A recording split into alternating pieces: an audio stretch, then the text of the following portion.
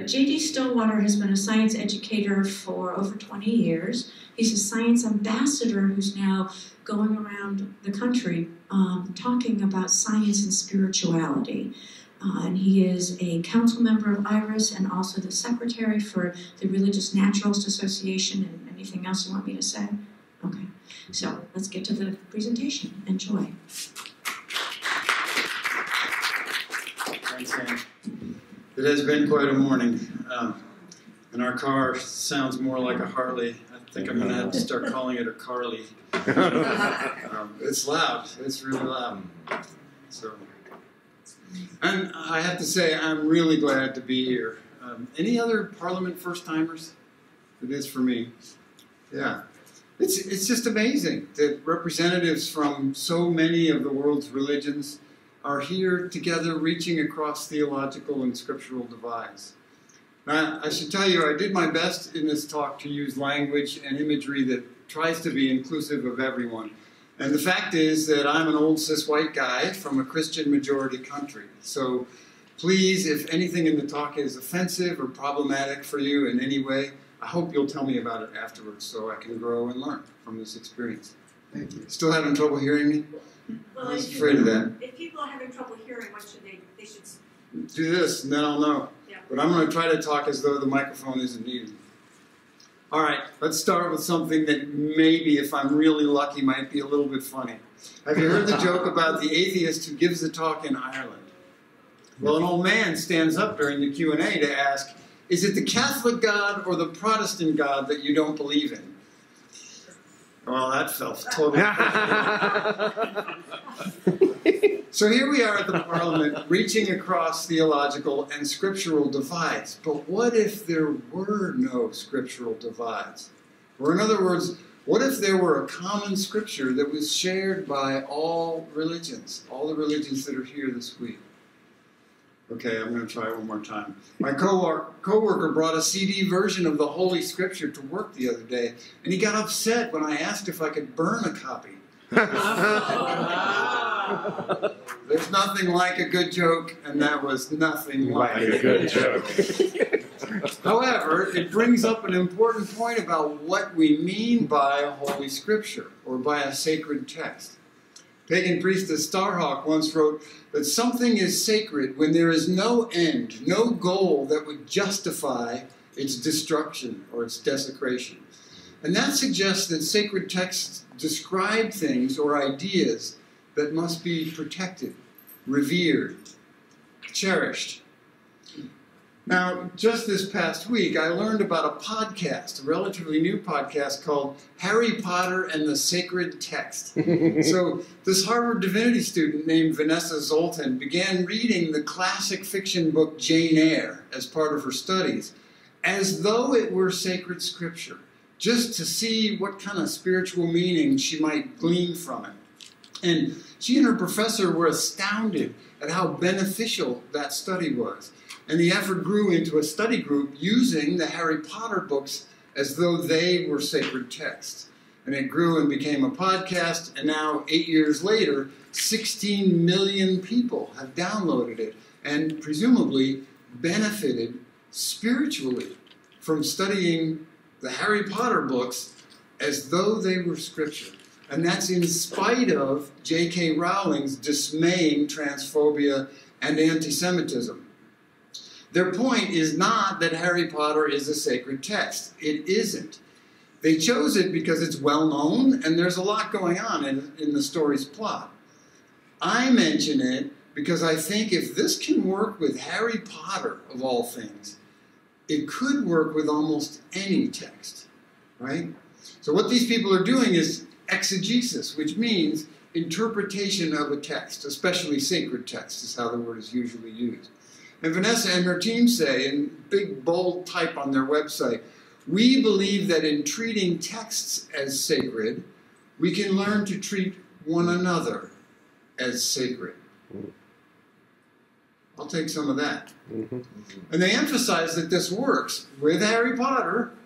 It works because of three things trust, rigor, and community. Trust that the text can yield generous rewards or could yield generous rewards. Rigor, Well, here's how they put it on their website. Quote, the text in and of itself is not sacred, but is made so through our rigorous engagement with it. Yeah. And community, in that it takes a village to be uplifted together, to make holy meaningfulness from a text studied in community with others.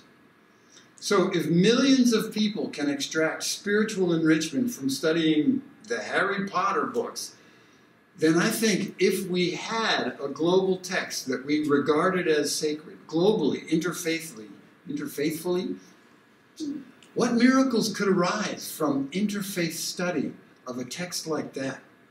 Especially if we studied it with trust, rigor, and community, in community. I think the world might be very different from the one we live in now. If we had a common scripture, different people would probably make different meanings from it. And that's okay. As you know, the billions of people who study the Hebrew book of Genesis have all kinds of takes on the role of women, for one example. I can't resist. What did God say after creating Adam? It's not good. I can do better than that. What's not funny is how some in this country's history used Genesis to justify slavery. And there are still people now that think that way. Clearly, any one text can sometimes yield vastly different interpretations. So, a common scripture, if we had one, doesn't necessarily prevent misuse of it or it doesn't guarantee religious reconciliation, but I think it might help.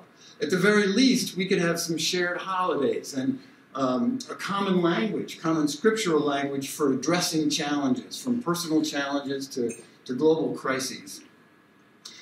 At heart, religious scriptures are about spiritual experience, right?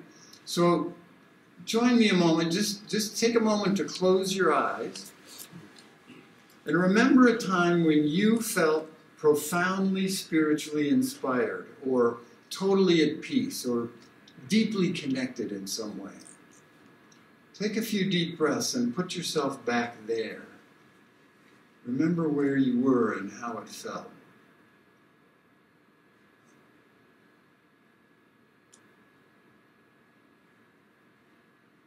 And when you're ready, take another deep breath.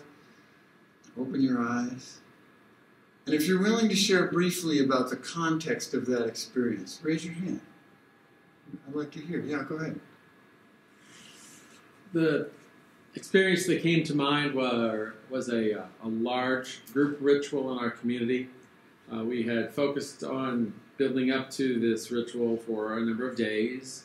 Uh, a lot of intention about heart, harmony, connection, and uh, the culmination of, of this ceremony I placed a large heart on a fire, which uh, we burned to release to the universe, and everyone was chanting and singing.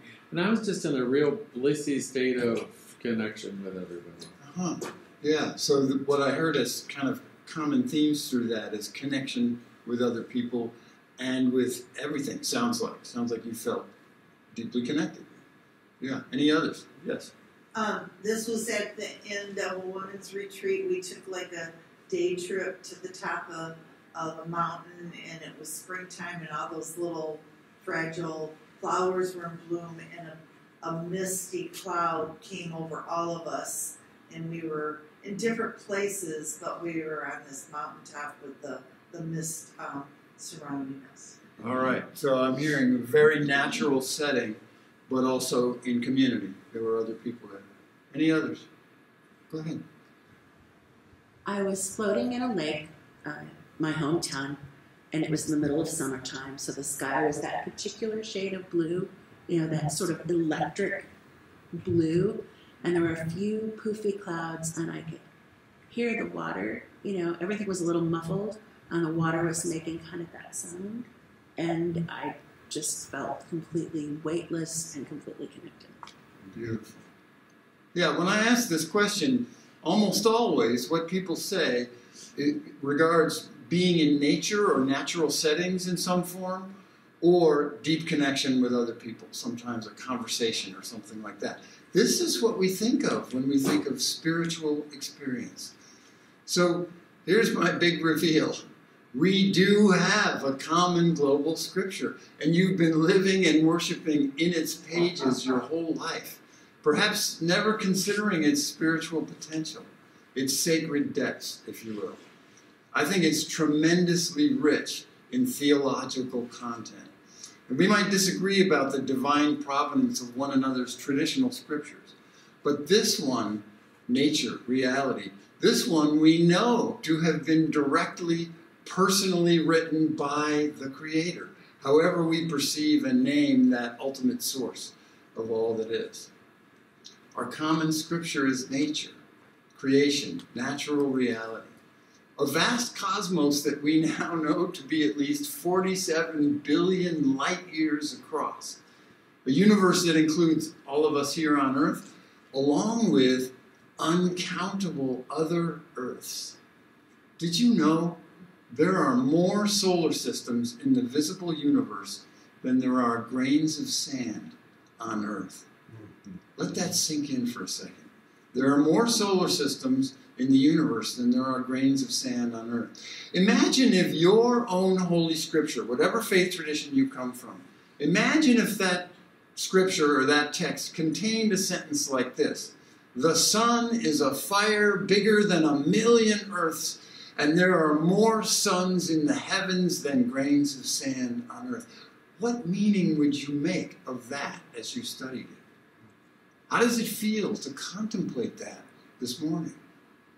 Does it expand your feelings about who or what could have created such a cosmos?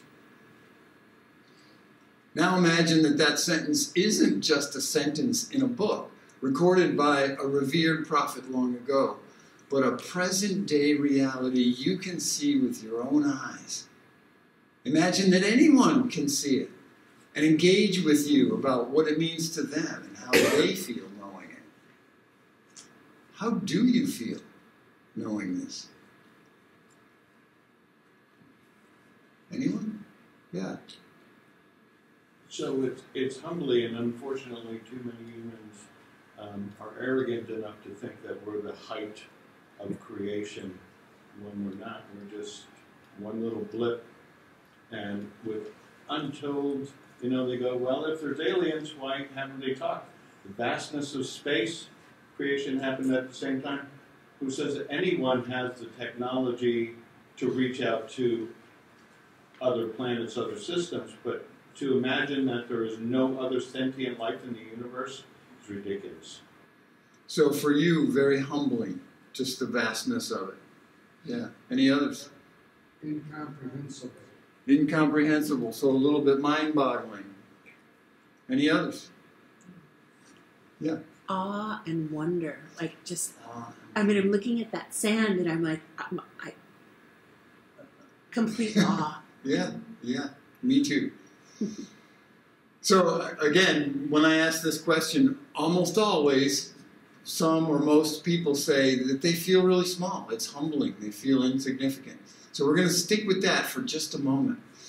Astronomer Neil deGrasse Tyson agrees with that. He says, We are a speck on a speck, on a speck, on a speck. Really, really small. And it's true. One of those pictures, this one, is a photograph of Earth taken by Voyager 1 from beyond the orbit of Neptune.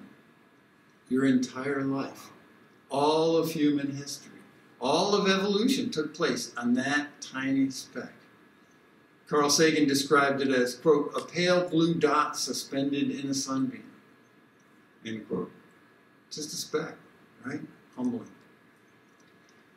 On the other hand, as far as we know now, we are the only complex life in the entire universe. It's here on this planet.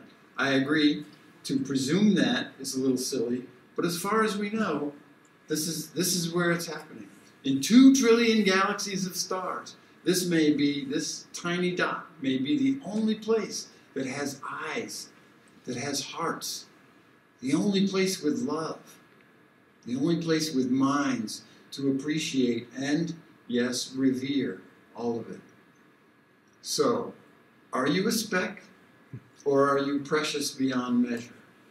Yes. Science, right, right. Science just describes, and in that regard, it's a text, right? It doesn't tell us what it means. It doesn't tell us what to make of it. Science concerns itself with what is. It's up to each of us to determine what it means for us. And human beings are hardwired for this. We're hardwired for making meaning from our surroundings. We can't avoid it. We think in metaphors and analogies. And when scientists are doing science, it's crucial that they hew as closely as possible to the raw facts. And it's really important not to confuse our models and our metaphors with reality itself. But make no mistake, meaning will be made from new knowledge, one way or another. So when scientists and science writers insist that the cosmos is devoid of meaning, well, they may be right, but at best, I think they leave a void that will get filled with something. And at worst, they encourage people to reject science altogether out of hand. Because, uh, you know, our guts tell us that nothing is completely meaningless, right? So again, am I a mere speck or precious in thy sight? You beat me to it. I say both. I say yes. For me, being both minuscule and precious, it instills a kind of durable humility along, along with a sense of responsibility. It says to me, I'm not in charge here, I'm not in control, and what I do really matters. I'm a terribly small part of something incomprehensibly vast, and nevertheless, I'm an essential part of it. In 2017, I was fortunate to travel to Oregon's Central Desert with a group of students to see the Great American Eclipse.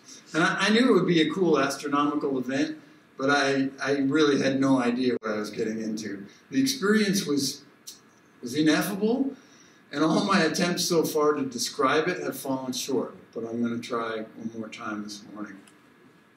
So there was a feeling of excitement uh, for all of us there when the moon made first contact with the sun's disk and then began devouring it. And it happened slowly over about an hour, a time spent for all of us just brimming with anticipation. Gradually, the light around us dimmed, not suddenly or obviously, but the whole world began to look thin, papery, kind of two dimensional light. You can sort of get that in this picture. And then it was dark. Not, not midnight dark. The horizon still looked like early dawn, but all around, not just in the east, right? And up straight up, up above, stars twinkled clear and bright as though it were midnight. And tendrils of misty light streamed out from the ominous black disk where the sun had been just a few minutes before.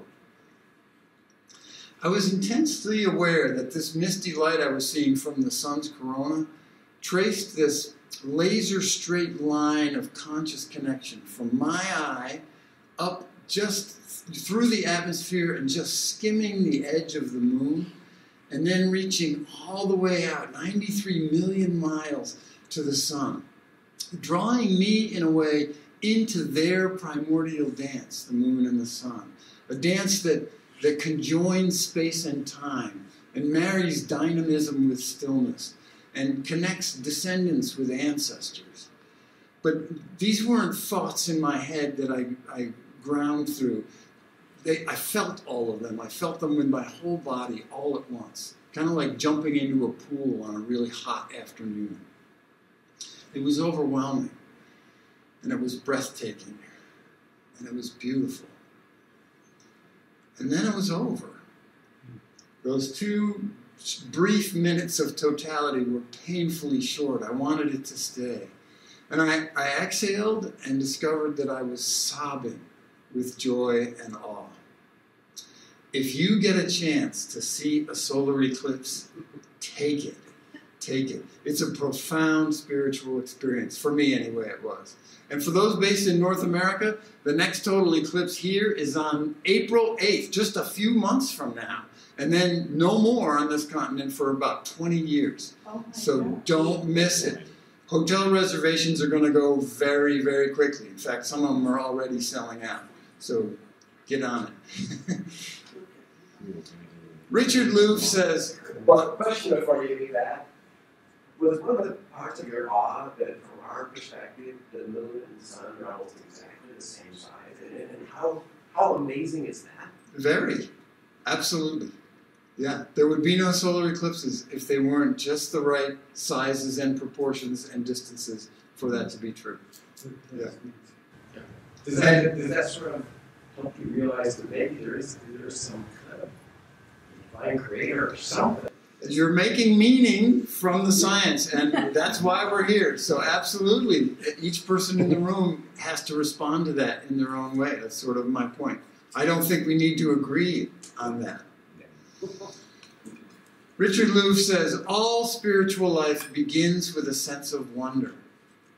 I've spent many years now, more than a decade, collecting and cataloging awe inspiring wonders of natural reality like this. And I've been calling them rev- revelations because they get revealed as sciences do their work. And I'm afraid that even if we had a thousand hours for this session, I could barely scratch the surface of a few of them. But I want to run through a few more. Can you hold it until the end? I, I'm a little concerned about time at this point, partly because my spouse back there is going, hurry up, hurry up.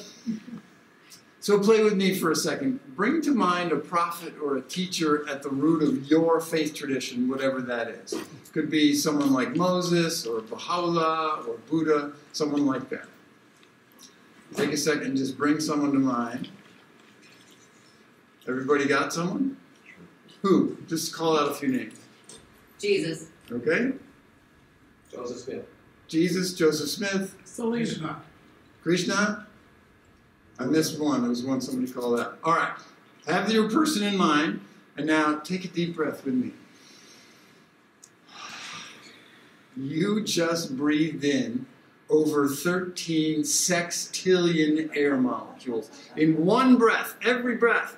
But here's the thing over 700 million of the molecules that came in with that breath were at some point inside the lungs of the prophet or teacher you were thinking of. The same is true of everyone who lived more than a few decades ago. That same breath also included air molecules from every animal that ever lived, every plant that ever lived. They're all, in a way, right here in the air of this room with us. Now, knowing all that, take another breath. Feels a little different, doesn't it? Some of the oxygen molecules you just breathed in a moment ago now are you, part of your body. They've come alive by being part of you, part of your body.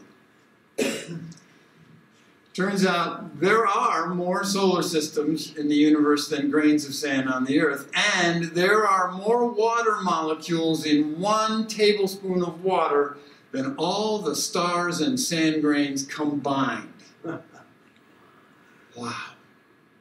Air and water molecules are so small and so numerous, and they cycle around the earth so constantly that every cup of beverage you swallow contains over 150 million water molecules that actually passed through Jesus' body during his lifetime. And if your prophet or guru or teacher lived more than about 35 years, then it's even more than 150 million water molecules in every cup that you drink. Every time. That's the science. What does it mean? Mm. To me, it means that all water is holy water. And when I consider that as I drink, which I would like to do because I left my water somewhere back there, I'm hoping someone will bring it. When I consider that when I'm drinking, and obviously I don't do this with every drink, but I try to do it as often as possible. I, I feel like it connects me with all of those ancestors on this dynamic living planet and with the holiness that infuses every moment that I'm alive. Thank you so much. Here again, it orients me, like with the stars and sand grains. It help, helps orient me squarely within the stream of flowing matter and energy far greater than myself, far vaster than my daily struggle. One tradition that I'm aware of where the blessing is, may you never thirst. Mm. Beautiful. When I meditate on science revelations like this and interpret them like the chapters of a religious text, some consistent fibers kind of pop out for me, like golden threads, if you will, in nature's tapestry. I see patterns that have meaning not only for me personally, but that offer, I think, to help heal a wounded society on a critically ill planet. I call them the insights, and I want to just skim through three of them. First, let me say that what I'm about to share is partly science and partly exegesis. It's interpretive meaning making from the findings of science. Somebody else might look at the same science knowledge and interpret it differently, make their own meaning from it. Unity. The kind of genetic testing being done pretty routinely now makes it clear that every human being on the planet is a distant cousin. The people in this room are all cousins of each other. How do we greet a cousin we've never met that turns up at a family reunion? Well, this is a family reunion, so let's practice. Turn to someone sitting near you who you don't already know and say, Hello, cousin. I'm so glad to finally meet you. Hello, cousin. I'm so glad to meet you. It's so good to see you again. So good to see you again as well. You too, cousin, and hello, cousin. I'm glad to meet you. How was that? No, I, we don't have time. I could hear their laughter, so I know I have a sense of how it was. But of course, this isn't just for people who are easy to know and get along with. I'm also talking. I'm also talking about the panhandler that, that I ignored yesterday, and the guy who cut me off on the road, the guy who stole our catalytic converter. Yeah. Probably a guy, right? And um, people with unfamiliar ways, and world leaders that I regard as evil. Those are my cousins too. And this does not thrill me. It's not all sweetness and light. I don't like that the water I drink has been part of people who do awful things too. Revelations are not always comfortable. And isn't that true of most sacred scriptures? Discomfort is part of the spiritual journey. Our choice is to face the truth of it or to live in some kind of superficial denial, right? All humans are cousins. Every conflict is a family conflict. Every war, a civil war. Recognizing this for me is profoundly spiritual. And this deep kinship I'm talking about doesn't stop with people. Those same genetic tests and many other lines of evidence reveal to us that every living thing on this planet is blood related, even the ones with nothing like blood in their bodies. And really, not all that distant from me and my human cousins either. This is my 304,325,256 cousin, 110,385,693 times removed. Her name is Olivia. She has a successful career in the recycling industry, and she's always been kind to me. In this video, she's celebrating because she found the perfect ball of feces to raise her children in. And I can't wait to meet my new baby cousins. All kidding aside, I'm not kidding. It's true. The tree of life is a family tree, and it has branches for every living thing on the planet. It's not just someone's conjecture. There is overwhelming evidence that this is a fact. And we can map out precise relationships between species based on the genetic code. We humans are neither the root nor the apex of the tree of life. We're just one leaflet on one small branch. That's the science. Now, what meaning are we going to make from it? How will we treat our kin? And it's not just living things either. Here on Earth, the atmosphere, the hydrosphere, and the lithosphere, these are interconnected, inseparable systems. And we live on and inside them. They flow through us. Rocks dissolve in water and get washed to the ocean, then become seashells, then maybe bird bones or rocks again. River becomes ocean, then cloud, then apple, then human, then air, everything, everywhere, all at once, up, down, across and beyond, or crossing around, with interconnections and shortcuts and cycles within cycles. Here on earth, all boundaries and distinctions are either arbitrary or temporary. Earth is one thing. It's not separate from us.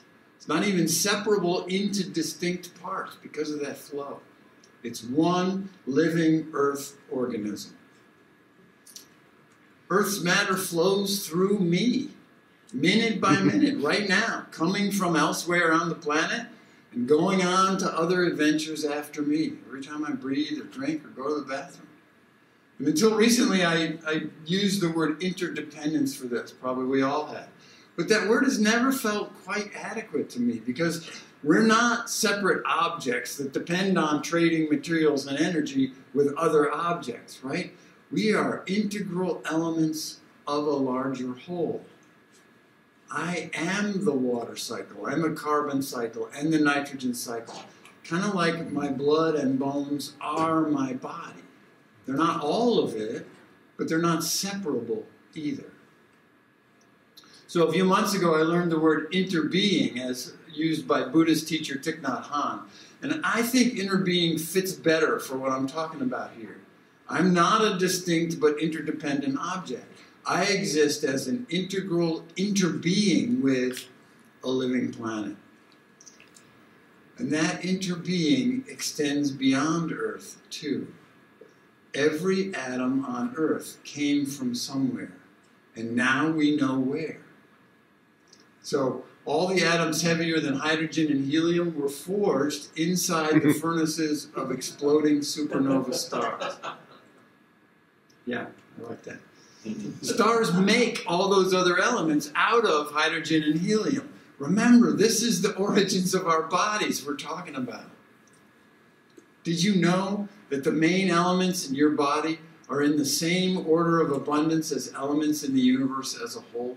Except for helium and neon, who they don't play well with others, and, and they're extremely rare here on Earth. And I want to show you a short clip about this because it's, it's perfect. I know that the molecules in my body are traceable to phenomena in the cosmos. And that and it's our 15 pounds of gray matter that figured this out. There's a kinship with the cosmos that resonates deeply with New Age thinking, but I'm not apologetic about that. It's what we find. If whatever we find is resonates with whoever, go ahead, take it.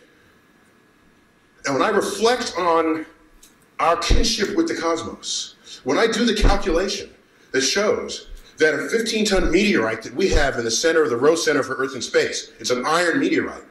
When I do the calculation that shows that if you take all of the iron from the hemoglobin of the people in the tri state area of New York City, you can recover that much iron out of their blood.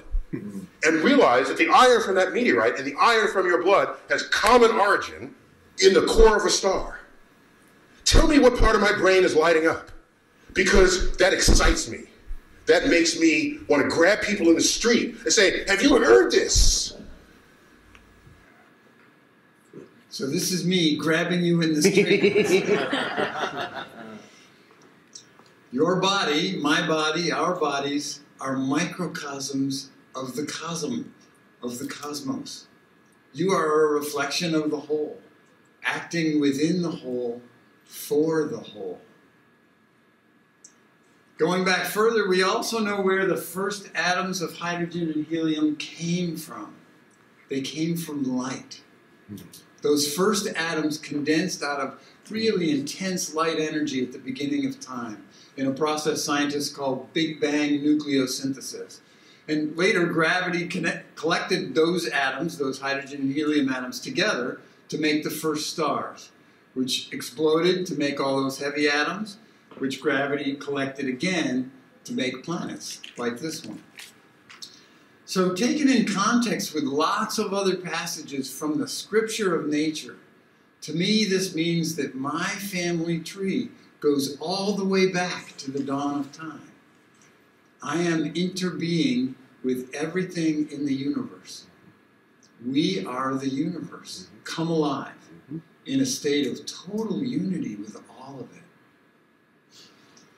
Centuries before modern cosmological science, the Islamic poet Rumi said it this way You are not a drop in the ocean, you are the entire ocean in a drop. Cooperation. When I was a child, my parents were Shaklee distributors, which meant that for us kids, a treat was a Shaklee energy bar. and believe me, they're nothing like candy. So one day I noticed that a colony of ants had chewed a hole in the wrapper of an energy bar that had fallen unnoticed under a radiator in my parents' office. And to their credit, my parents treated this as a science project and just let them eat. Those ants were fascinating to me, and I spent hours on my belly watching them, day after day. Just, I noticed how they walked in thin lines, like highways, complete with passing lanes, and how they always touched antennae with each other as they passed. And within about a month, those ants had carried off the entire bar, one tiny little mouthful at a time. Why am I telling you this? Well, survival of the fittest does not mean survival of the strongest or the fastest or the smartest.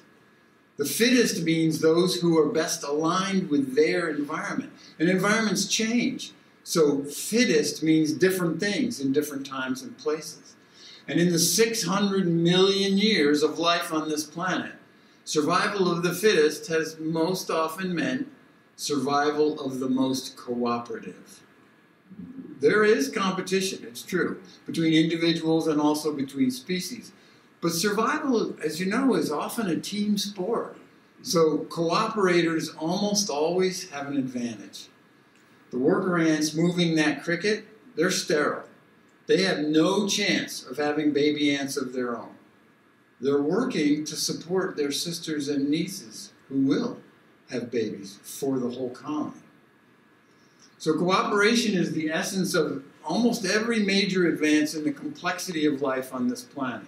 In the eukaryotic revolution, which is this blue arrow actually, um, single celled bacteria engulfed but then didn't digest their own neighbors. And that benefited both of them.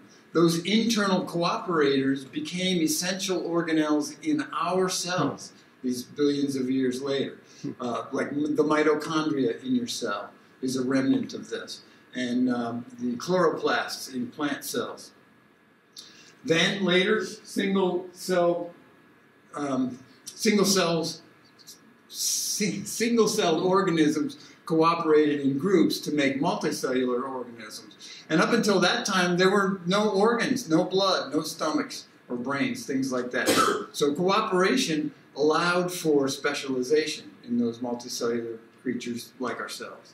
Still later, some of those multicellular creatures started cooperating in societies like ants and elephants and wolves and people.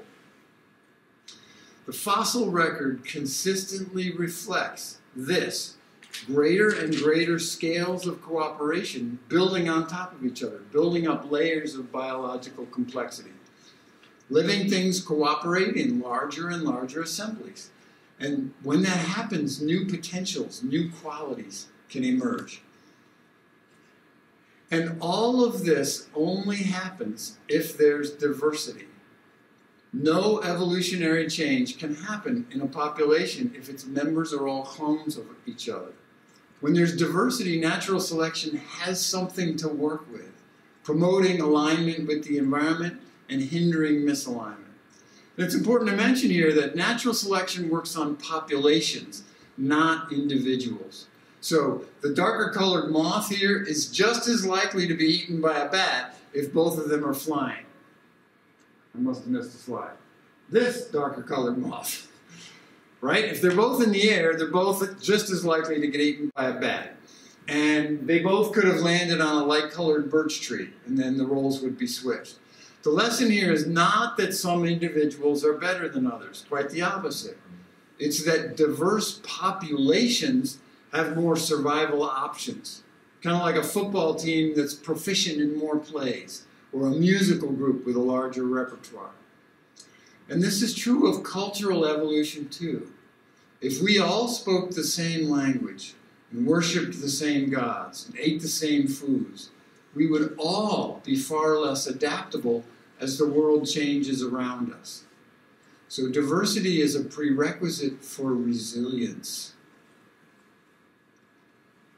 Cooperation and diversity are winning strategies in the evolution of life on this planet. That's the science. What does it mean for us today?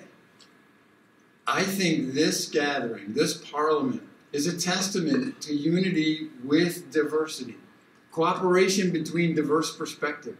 And to me, that's another expression of cosmic creativity. How fragile we would be spiritually if we all had the same beliefs and the same rituals. I think religious and spiritual diversity provides our grandchildren with options as they face a changing environment, right? Natural reality, as science reveals it to us, could be a source of great unity between our various faith traditions. The work of science itself is done by representatives from every major faith tradition on the planet, and they share their process and their findings globally for everyone, for all humanity to take inspiration from if they choose to. More than nations, I think, more than religious organizations or NGOs, really more than any other human endeavor. Science is people from every culture and nation and faith working together to, to reveal the secrets of creation. So, whether you call it creation or physical reality, we meet and engage with one another in this world. However, we might disagree about the nature and naming of transcendent realities, we generally agree that the earth is round, right? The DNA sequences guide the development of our bodies, that microscopic pathogens cause infectious diseases, that our devices based on quantum effects and tiny transistors actually work, right? But the culture wars urge us to think of science as some kind of enemy of religion and spirituality, claiming that science reduces all the magic and mystery to the mundane mud of materialism. Well, I got to tell you, the last 150 years of science have done just the opposite of that. Every discovery, every dark frontier illuminated, reveals even greater mysteries beyond the shores of our knowledge. Every new revelation, nature's glory and intricacy grow with these discoveries, sometimes by leaps and bounds. And in me, they inspire an ever expanding awe of the creative forces that birthed all this. I think if the world's religions really want to work together for freedom and human rights and democracy, we might consider starting on common ground. Natural reality is the only literal common ground we have. And here we are, living in it as it. Those grow around here, by the way. They're really fun. What if our sources of inspiration and spirituality included one that's based on what we know alongside what we believe? It includes my beliefs while also informing them and enriching them. And it, it's true that sometimes new discoveries make us reconsider our beliefs in a new and more expansive light. And that's a spiritual practice too. For me, it's had powerful implications for who I am and for what's important to me. And I think it can have powerful implications for others, and more importantly, for interfaith dialogue, which is why we're here. For example, does the kinship of all living things resonate similarly or differently for Hindus and Muslims, for Jews and Taoists, Jains, Christians, Mormons, pagans, atheists? What could they learn from one another once they go a little deeper than polite appreciation for each other's distinct beliefs and rituals? The fact of this kinship is something we all share because we are it. We are that kinship. I think it's a solid ground for supporting deep and authentic interfaith dialogue. It's one chapter of humanity's shared global scripture. When something is sacred, nothing can justify its destru- destruction or desecration. I invite you to regard natural reality as Holy Scripture and to study what science reveals about it in that mindset. Approached with trust that studying nature can yield generous rewards, rigorous, earnest engagement to make it sacred, and doing so in community, global interfaith community.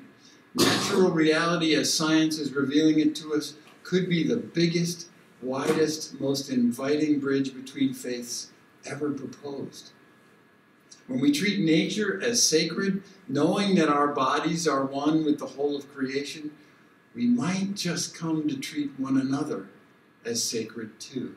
Sacred elements of a sacred planet, minuscule and precious in a vast and glorious cosmos. Thank you for choosing this session.